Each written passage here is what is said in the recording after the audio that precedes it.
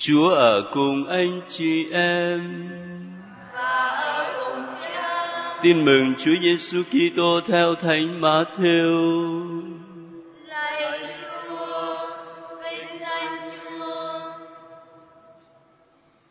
Một hôm Đức Giêsu nói với các môn đệ rằng khi con người đến trong vinh quang của người có tất cả các thiên sứ theo hầu bấy giờ người sẽ ngự lên ngai vinh hiển của người. Các dân thiên hạ sẽ được tập họp trước mặt người, và người sẽ tách biệt họ với nhau như mục tử tách chiên khỏi dê. Người sẽ cho chiên đứng bên phải, còn dê ở bên trái. Bấy giờ đức vua sẽ phán cùng những người ở bên phải rằng, nào những kẻ cha ta chúc phúc hãy đến thừa hưởng vương quốc dọn sẵn cho các ngươi ngay từ thuở tạo thiên lập địa. Vì xưa ta đói, các ngươi đã cho ăn, ta khát, các ngươi đã cho uống. Ta là khách lạ, các ngươi đã tiếp rước. Ta trần chuồng, các ngươi đã cho mặc. Ta đau yếu, các ngươi đã thăm viếng. Ta ngồi tù, các ngươi đến hỏi han. Bấy giờ, những người công chính sẽ thưa rằng lạy chúa, có bao giờ chúng con thấy chúa đói mà cho ăn, khát mà cho uống? Có bao giờ thấy chúa là khách lạ mà tiếp rước hoặc trần chuồng mà cho mặc? Có bao giờ chúng con thấy chúa đau yếu hoặc ngồi tù mà đến hỏi thăm đâu? Đức vua sẽ đáp lại, ta bảo thật các ngươi, mỗi lần các ngươi làm như thế cho một trong những anh em bé nhỏ nhất của ta đây là các ngươi đã làm cho chính ta.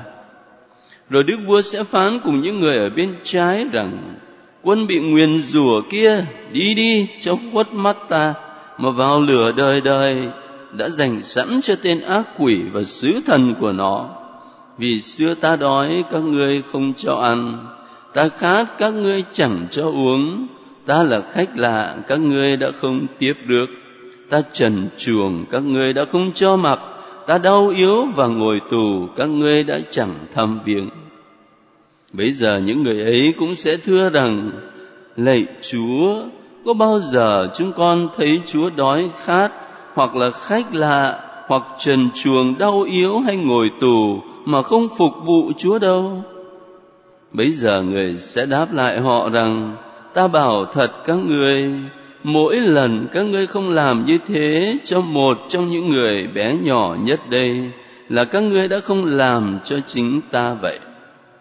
Thế là họ ra đi để chịu cực hình muôn kiếp, còn những người công chính ra đi để hưởng sự sống muôn đời.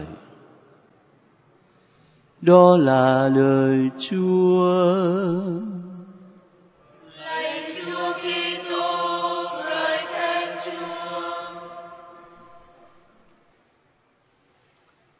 Thưa anh chị em,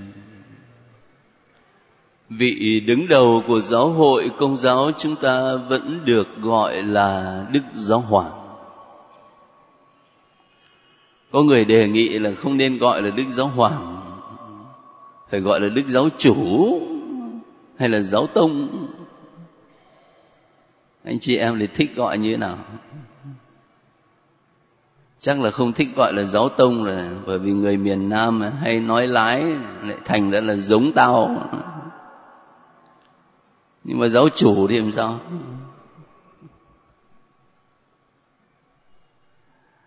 Sở dĩ người ta đề nghị là không nên gọi là giáo hoàng á, là bởi vì cái từ giáo hoàng nó gợi về hình ảnh vua chúa, thời quân chủ. Và như vậy nó diễn tả về giáo hội như là một cơ chế lỗi thời, không có thích hợp với con người ngày hôm nay nữa. Đang khi đó đức giáo hoàng lại được gọi trong tiếng latin là servus servorum tôi tớ của những tôi tớ. Cho nên phải đổi. Tôi cũng không nghĩ là chúng ta cần phải đổi cái từ đức giáo hoàng mình vẫn gọi vị đứng đầu giáo hội của mình là đức giáo hoàng rất là trân trọng. Nhưng mà cái quan trọng là mình ý thức nội dung của từ ngữ giáo hoàng hoặc là làm vua như thế nào. Và tương tự như vậy, ngày hôm nay khi ta cử hành lễ chúa kitô là vua đó mình cũng cần phải ý thức lại cái nội dung của từ vua, rồi vương quốc, rồi vương quyền của vua Kitô như thế nào. Chứ nếu không thì người ta hiểu lầm đạo của mình mất. Và khi cùng đặt câu hỏi như thế đó, mà quay trở lại câu chuyện tin mừng ngày hôm nay anh chị em và tôi sẽ hết sức là ngỡ ngàng. Có một nhà chú giải đã đặt tên cho cái dụ ngôn mà chúng ta vẫn quen gọi là dụ ngôn ngày phán xét chung này này, bằng cái tên là dụ ngôn về những nỗi ngạc nhiên. Tại sao lại ngạc nhiên? Cái ngạc nhiên trước hết đó là ngạc nhiên về cái tiêu chuẩn mà ông vua ở đây dựa vào để đánh giá ai là người lành, ai là kẻ dữ ai là dân của mình mà ai không thuộc về vương quốc của mình. Cái tiêu chuẩn mà vị vua ở đây dựa vào để đánh giá đó không phải là những gì mà người ta làm cho chính bản thân nhà vua mà là những gì người ta làm cho đồng loại của họ kìa đặc biệt là những người nghèo khổ nhất, những người hèn mọn nhất. Nói một cách khác là bởi vì nhà vua đã tự đồng hóa chính mình với những người cùng khổ nhất. Đó là điều mà ta không gặp được ở đâu trong cuộc đời này đặc biệt là nơi những người có chức có quyền, những người gọi là lãnh đạo. Không có căn cứ vào cái chuyện gì là người ta làm cho bản thân mình, mà là làm cho đồng loại. Và như thế, cái khuôn mặt của vua Kitô ở đây được thể hiện là khuôn mặt của một vị vua tình yêu. Tình yêu theo nghĩa tuyệt đối đó tình yêu theo nghĩa là hoàn toàn cho đi, không nghĩ gì đến mình mà chỉ nghĩ đến dân của mình. Không đi tìm cái gì cho mình mà chỉ đi tìm hạnh phúc cho dân của mình. Vua Kitô là như vậy. Mà bởi vì cái tiêu chuẩn đánh giá của vua Kitô là như thế, cho nên cái điều ngỡ ngàng thứ hai đó là vương quốc của ngài, trở thành một vương quốc không biên giới. Khi người ta nói đến một vị vua, thì người ta cũng nói đến vương quốc, tức là cái đất nước mà ông ấy cai trị. Và cái vương quyền, tức là thể hiện cái quyền bính của ông ấy. Nói đến biên giới ở đây, nó không chỉ là biên giới không gian của một đất nước, mà có khi còn phải hiểu nó là biên giới tinh thần chẳng hạn, những ai ở trong đạo công giáo khác với những người trong phật giáo. Thí dụ thế, thì nó có một cái biên giới tinh thần. Thế nhưng mà đối với vua Kitô ở đây, thì cái vương quốc của ngài lại là một vương quốc không biên giới. Tại sao nói như vậy? Là bởi vì đến cái ngày phán xét này, những người mà được gọi là có đạo, không chừng lại bị vua Kitô mắng cho một trận, ngày xưa ta đói mà người không cho ăn, ta khát mà người không cho uống. Có đạo mà lại bị phạt. Còn cái ông mà không có đạo đó, không chừng lại được chúc phúc. Cho nên là ngỡ ngàng là lạy chúa, có bao giờ con thấy chúa đói mà cho chúa ăn đâu? Cái biên giới ở đây không còn là một biên giới không gian của một đất nước, cũng không còn là biên giới tinh thần của đạo này với đạo nọ mà có lẽ chỉ còn một thứ biên giới duy nhất là biên giới của tình yêu.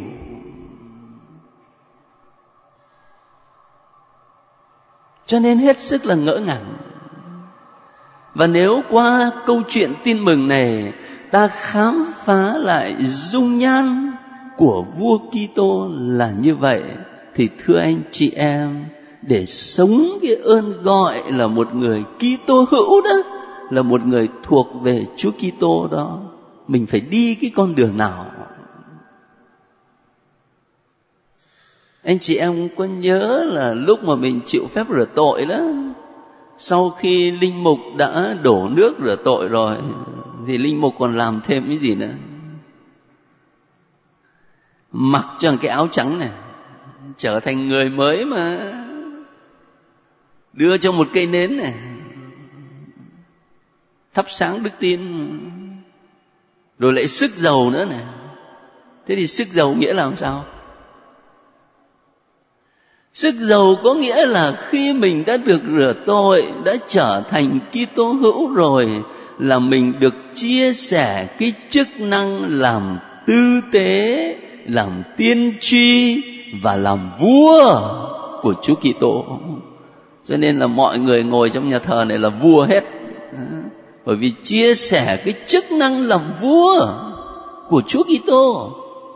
Nhưng mà dĩ nhiên vua không phải theo nghĩa của thế gian, mà vua theo cái nghĩa mà chúng ta vừa nói. Vua của tình yêu vị tha, vua của một vương quốc không biên giới. Mà nếu như thế, thì trong cuộc sống của tất cả chúng ta ở đây đều được mời gọi để họa lại. Cái, cái tâm tình cái cung cách cái lối sống của vua Kitô. Có thể là mỗi người một khác thôi. Linh mục chẳng hạn thì phải sống cái chức năng phục vụ đó đối với cộng đoàn mà Chúa giao cho mình. Còn hầu hết anh chị em ở đây là được mời gọi để sống ít tâm tình phục vụ yêu thương đó trong chính gia đình mình. Căn bản là gia đình. Anh chị em có thể nói với tôi và tưởng chuyện gì lớn lao chứ còn cái chuyện gia đình thì vợ chồng thì cha mẹ với con cái thì yêu thương nhau, phục vụ nhau là cái điều đương nhiên. Thì dĩ nhiên rồi. Nhưng mà chưa chắc đó. Mấy tuần vừa rồi khi đọc báo đó, tôi có để ý đến một bài phóng sự và sau đó là những ý kiến trao đổi về vấn đề. Cái bài phóng sự liên quan đến một tầng lớp ở trong giới trẻ, ở trong giới sinh viên, gọi là sinh viên quý tộc. Toàn những con ông cháu cha cả tiêu xài mỗi ngày có khi một vài triệu còn những lúc mà bạc ti bạc tiết thì có khi cả dăm bảy chục triệu một đêm cũng thoải mái. Dĩ nhiên là cả xã hội lên án. Thế nhưng mà tôi hơi ngỡ ngàng sau đó khi đọc một cái bài của chính một bạn tự xưng mình là sinh viên quý tộc. Nói cái lý do làm sao mà họ sống một cái lối sống như vậy tôi mạn phép trích lại một vài đoạn. Bạn viết thế này, chúng tôi là ai? Chúng tôi là những đứa trẻ như bao đứa trẻ khác. Trước đây chúng tôi cũng có một cuộc sống bình thường và hạnh phúc. Nhưng mọi thứ thay đổi khi bố mẹ chúng tôi có thêm chức quyền. Chính họ đã thay đổi rất nhiều. Chúng tôi có rất nhiều tiền, nhưng ngoài ra không có một cái gì khác.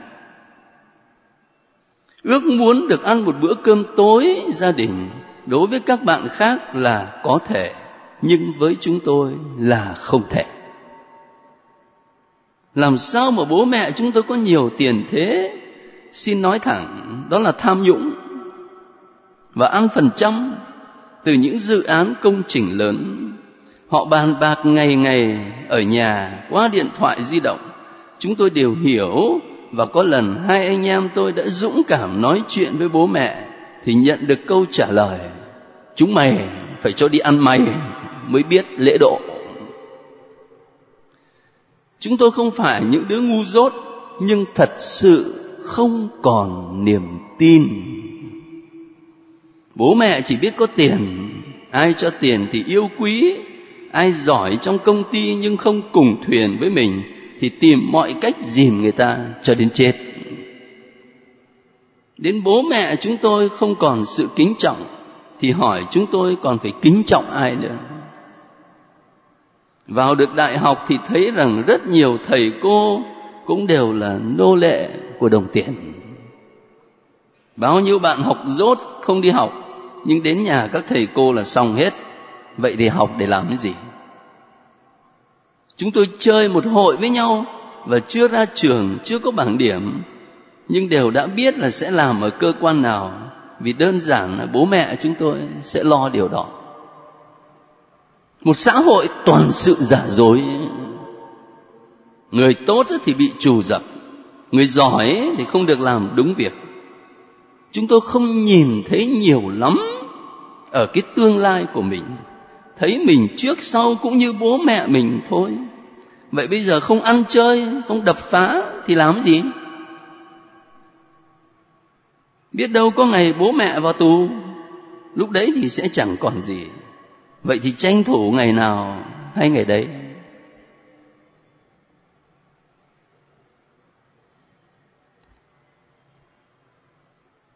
Không biết anh chị em nghĩ sao chứ? Tôi đọc cái này tôi hơi bị sốc. Một bức tranh quá ảm đạm về xã hội, về giáo dục, mà khởi đầu là gia đình. Có thể anh chị em bảo rằng cái thằng này, nó chỉ có biện minh cho lối sống buông thả của nó. Thì có thể.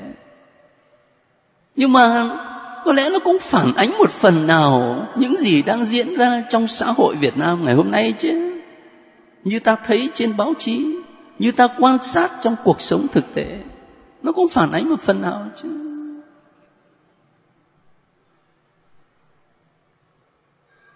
Và khi đọc cái tâm sự này đó, thì tự thân tôi tôi đặt ra cho mình một câu hỏi. Chắc chắn là các bậc cha mẹ này, họ nghĩ là họ thương con lắm, cho nên là con muốn bao nhiêu tiền cũng được hết.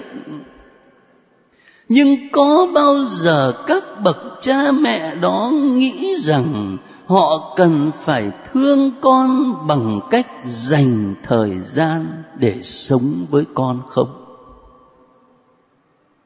Có bao giờ các bậc cha mẹ này nghĩ rằng họ cần phải thương con bằng cách cống hiến cho con một mẫu gương về đời sống đạo đức của con người không?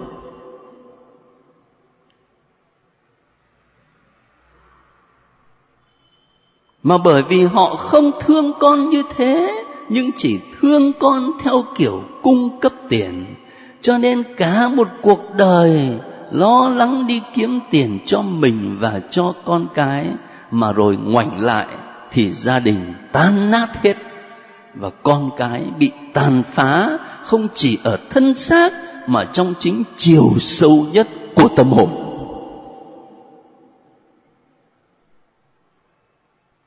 Cho nên nói thì có vẻ là đơn giản, mà thực tế, sống cái chức năng làm vua của Chúa Kitô ngay trong gia đình không phải là điều đơn giản. Và tôi hiểu được là lý do tại làm sao Đức Giáo Hoàng Gioan Phaolô đệ nhị đã qua đời. Ở trong cái năm quốc tế về gia đình không biết bao nhiêu đoạn phúc âm ngài có thể ngài lấy ra mà ngài dạy dỗ người ta, mà ngài lấy ngay cái dụ ngôn này để ngài nói về đời sống gia đình. Để ngài giúp cho các bậc vợ chồng, các bậc cha mẹ, cũng như con cái ý thức rằng một ngày nào đó ra trước mặt chúa và chúa sẽ nói với mình rằng, ngày xưa, ta là một bà vợ đã lớn tuổi không còn nhan sắc, nhưng ngươi vẫn một lòng yêu thương san sẻ và ngày đó ngài cũng có thể nói rằng ngày xưa ta là một thai nhi nằm trong dạ ngươi mà ngươi đã cố gắng giữ lại cho dù cuộc sống lầm than vất vả. Ngài lấy ngay cái dụ ngôn này để ngài áp dụng cho đời sống gia đình. Bây giờ tôi hiểu được. Nên nền tảng là ở chỗ này. Cho nên, thưa anh chị em Hôm nay mà chúng ta tuyên xưng Chúa Kitô là vua không phải chỉ của một nước mà là của cả thế giới là của vũ trụ thì cái chuyện đó là dễ thôi.